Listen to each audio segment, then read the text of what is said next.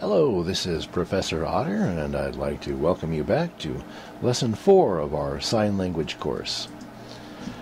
By the way, uh, I'd just like to say that my teacher for Sign Language happened to be a Navajo, and she taught me a mixture of American Sign Language and American Indian Sign Language.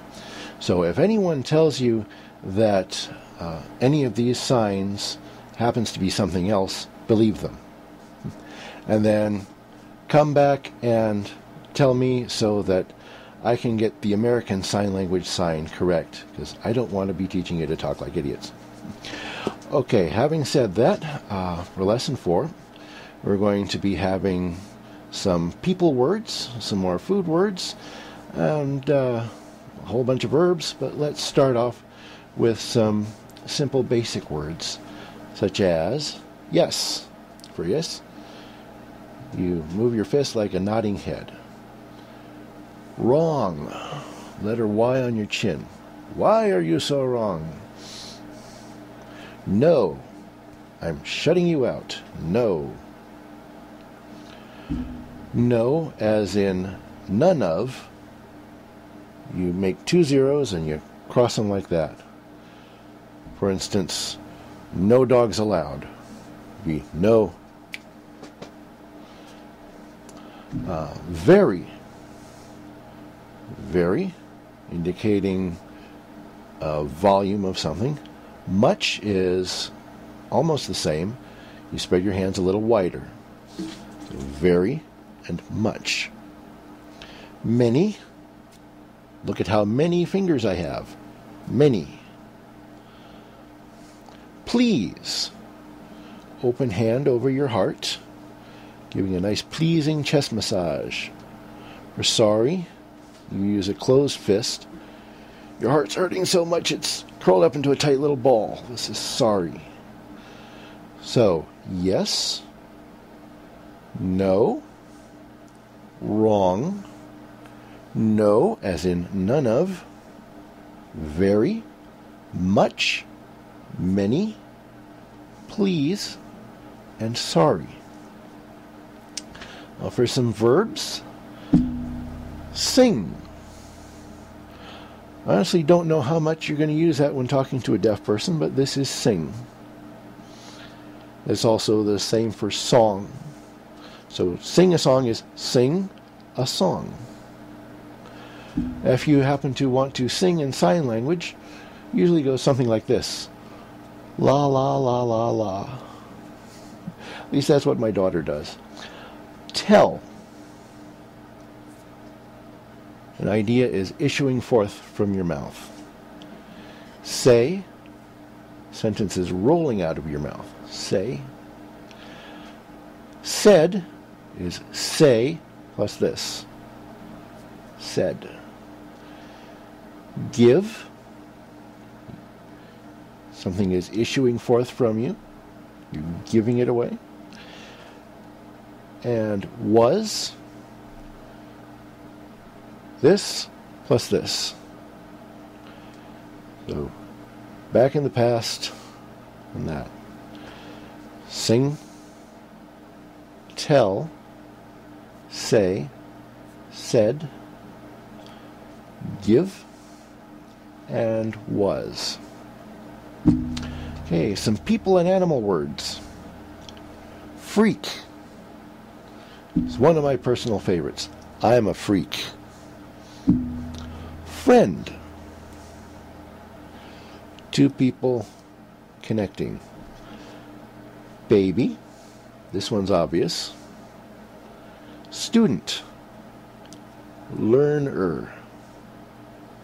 Again, this is a marker for man. It can mean the suffix er Doctor.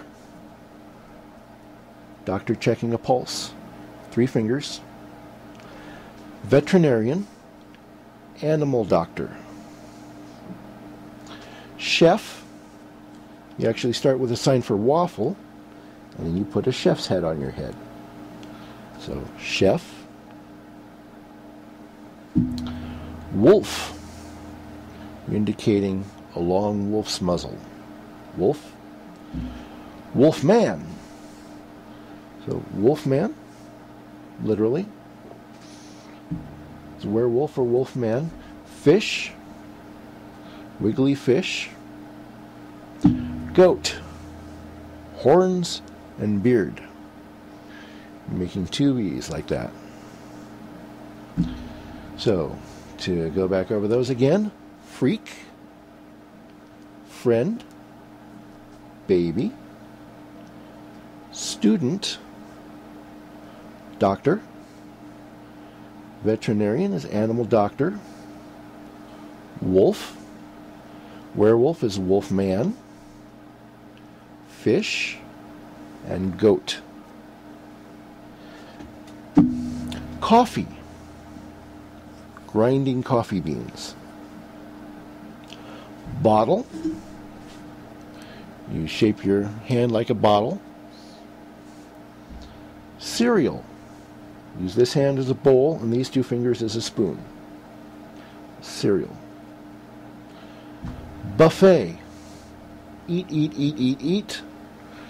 Dishes on a counter. This is buffet.